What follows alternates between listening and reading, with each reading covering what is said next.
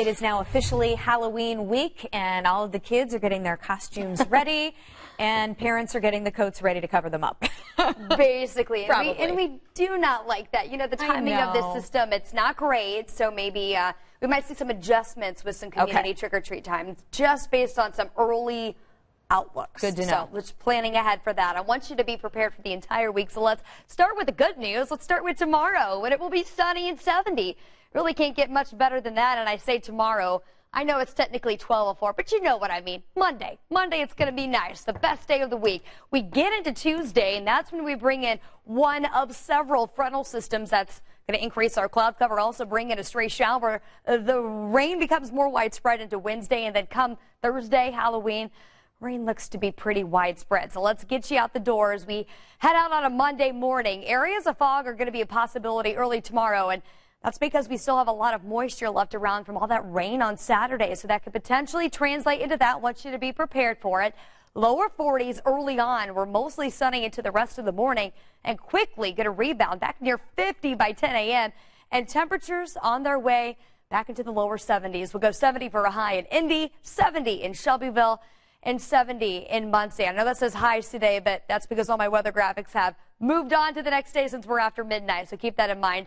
Monday's high near 70. And we are now into the peak color changes for our fall foliage. This week is going to be the best for central Indiana. And as far as the days to get out to get the best fall pictures, tomorrow is really looking like the pick of the week. We stay mostly clear through the afternoon. Temperatures recovering back into the 70s. Skies stay clear for the most part. Now we will start to see some changes later in the day. And that is as our next weather system rolls in. So I want to pick up Future Track 13 as we get into our Tuesday. This system really not going to bring much in the way of rain, but certainly more cloud cover, cooler temperatures behind that front, and the potential that we might see a stray shower on Tuesday. The more widespread rain, though, going to move in as we get into our Wednesday. So already noticing here, looking ahead at Wednesday afternoon, rain is going to become widespread. This is your forecast for Tuesday, though. Again, a stray shower, and you'll notice Nowhere near as warm as what we're expecting for Monday. 59 around noon, falling to 55 behind that front. Rain continues to take over. This is as we advance on into our Halloween. A center of low pressure, this uh, rather strong storm system, brings in widespread showers through our Thursday afternoon. And there is a chance that this will start to linger as we get into our Thursday evening. So trick or treat forecast this year might include some rain gear. 53 at 6 p.m. This is next Thursday evening, falling into the 40s as that weather system departs, and it's going to turn much cooler looking ahead at the latter part of the week.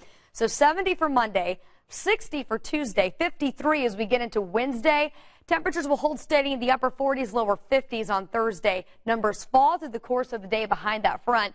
And then we're talking overnight lows near freezing to get Friday started. Daytime high is only going to be in the 40s looking ahead at the first few days of November, so preparing for a big time change toward the end of the week. If you're a fan of the warmer weather, take advantage of tomorrow. Again, sunny and 70 for Monday.